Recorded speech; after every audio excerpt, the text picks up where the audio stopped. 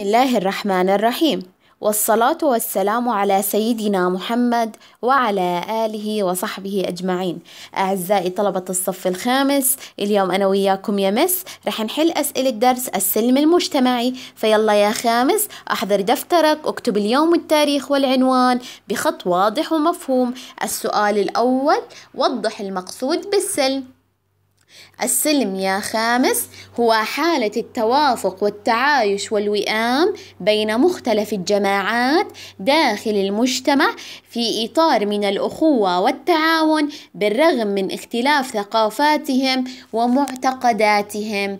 إذا السلم هو عبارة عن حالة من التوافق والتعايش والوئام ما بين مختلف الجماعات داخل المجتمع في إطار من الأخوة والتعاون. ولكن ممكن يكون هالأفراد بيختلفوا بالدين بالثقافة بالمعتقدات بالعادات والتقاليد.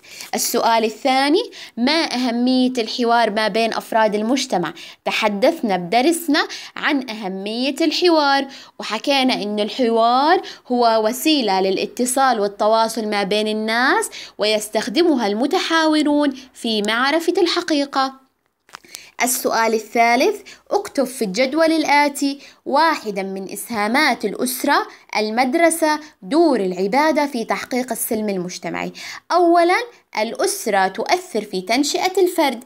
يعني الأسرة, الأسرة لها تأثير كبير في تنشئة الأفراد. أيضا المدرسة تعمل على نبذ السلوكات السلبية للطلبة. المدرسة بتساعد الفرد إنه يتخلص من السلوكات الفردية أو السلبية عفوا. دور العبادة تعزيز السلوكات التي تحقق السلم بين أفراد المجتمع. يعني دور العبادة تيجي بتثبت وبتعزز السلوكات داخل الأفراد اللي بتحقق السلم. السؤال الرابع عدد أهم الآثار الناتجة عن انتشار السلم في المجتمع.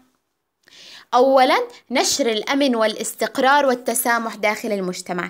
لما يصير عندي انتشار للسلم في المجتمع رح يصير واحد ينتشر الأمن والاستقرار والتسامح أيضا رح نصير نقبل آراء الآخرين ورح يتحقق المساواة والعدالة ما بين جميع أفراد المجتمع أمام القانون. السؤال الخامس كيف تتصرف آزاء شخص أساء إليك بسبب جهله. يعني أنت كشخص إجا شخص وأساء إليك. كيف بدك تتعامل معه؟